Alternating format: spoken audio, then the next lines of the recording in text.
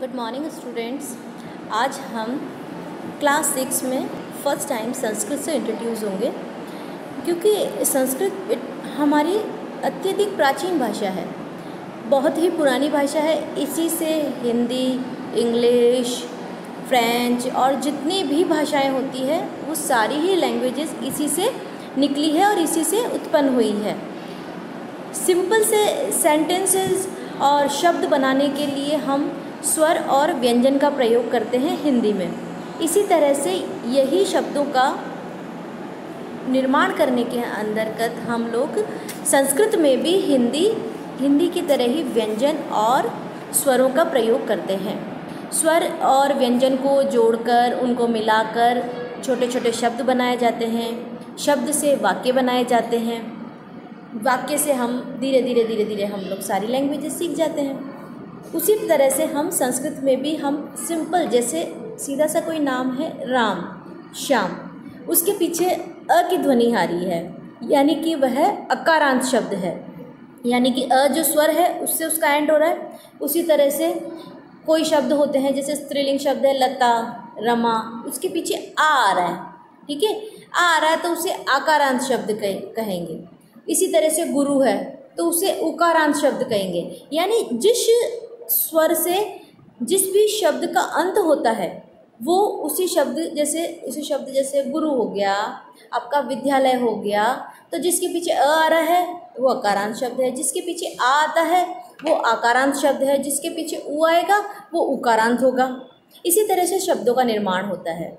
तो जो हमारा प्रथम पाठ है, पाठ एक है, शब्द परिचय एक, उसमें सिंपल से सेंटेंसेस बनाए गए हैं। छोटे छोटे शब्द दिए गए हैं जो अकारांत शब्द है।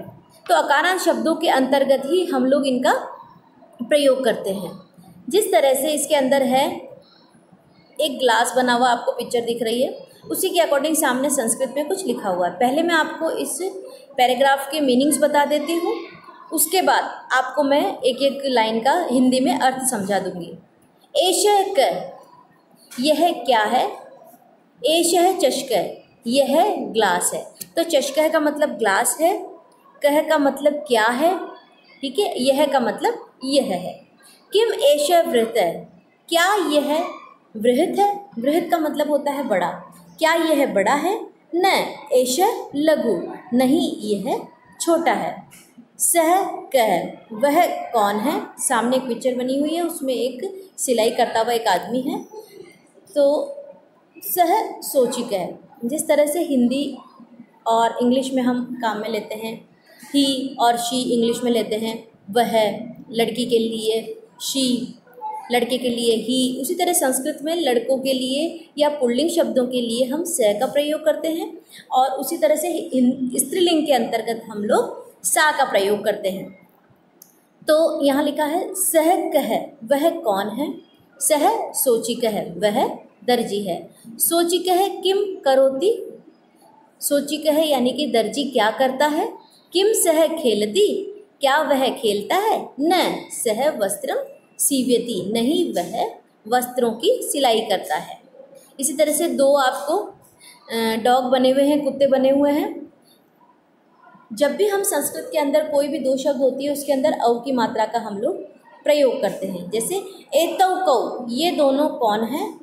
एतव शुनकौ स्तर ये दोनों कुत्ते हैं। किम एतव गर्जत? क्या ये दोनों गरज रहे हैं? न एतव उच्चई बुकत है। नहीं, ये ज़ोर से भौंक रहे हैं। यानी कि ये दोनों ज़ोर से भौंक रहे हैं, गरजता तो शेर है। तो कुत्ते तो भौंकते हैं तो दोनों कुत्ते ज़ोर से भौंक रहे हैं। इसी तरह से सामने एक और पिक्चर बनी हुई है तव कौ। ये दोनों कौन है? तव बलिवर्दव स्तर ये दोनों बैल हैं। बलिवर्दव का मतलब है बैल। किम तव धावत है? क्या दोनों दौड़ रहे हैं? न तव क्षेत्रम कर्षत है। नहीं, दोनों खेत को जोत रहे हैं। ठीक है? इसी तरह से हम लोग इनका प्रयोग करते हैं।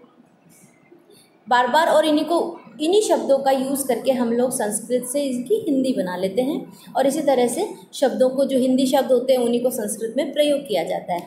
इसी तरह से देखिए आप लोग एते के। ये दोनों, ये, अब ये देखो, ये दोनों यहाँ पे औ की मात्रा नहीं है। तो एते के, ये क्या है? एते स्यूता संति यह बैग है है ना? ये थैले हैं। किम एते हरित वर्णा? क्या यह हरे रंग के हैं? नहीं, एते नील वर्णा संति। नहीं, यह नीले रंग के हैं। इसी तरह से देखो, बुज़ुर्ग लोगों की पिक्चर्स बनी हुई हैं। वह हंस रहे हैं, ठीक है? वो नहीं तो गा रहे हैं, ना ही रो रहे हैं। तो ते के, ये कौन है? ते वृद्धा संति यह वृद्ध है। ते के, किम ते गायंती, क्या ये गा रहे हैं? नहीं, ते हसंती, नहीं, यह हंस रहे हैं। इसी प्रकार से हम लोग बार बार इन शब्दों का प्रयोग करते हैं। देखिए, नीचे शब्दार्थ दिए हुए हैं। चशकह का मतलब ग्लास वृहद का मतलब बड़ा, सोचिकह का मतलब दर्जी, और खेलती का मतलब खेलता है। सीवियती सिलाई करता है, शुनकऊ दो कुत्ते गरजत है, गरजते हैं उच्चई यानी ज़ोर से। इसी तरह से वृद्धा का मतलब वृद्ध है बलिवर्दह का मतलब बैल है, शुनक है, कुत्ता बताया मैंने आपको, ठीक है? इसी तरह से हम शब्दों का प्रयोग करते हुए इन शब्दों से हम लोग, इन संस्कृत शब्दों से हम हिंदी बना सकते हैं। हिंदी शब्दों की हम संस्कृत बना सकते हैं। इसी तरह से हम लोग इस भाषा को भी समझते हैं और ये भाषा बहुत ही इजी है इजी लैंग्वेज है। आप इजीली इसको समझ सकते हैं। ठीक है? तो इसी तरह से ये शब्द परिचय एक हमारा संपूर्ण होता है, पूर्ण होता है। आगे का जो नेक्स्ट वीडियो होगा, उसमें हम लोग इस पाठ के प्रश्न उत्तर करेंगे।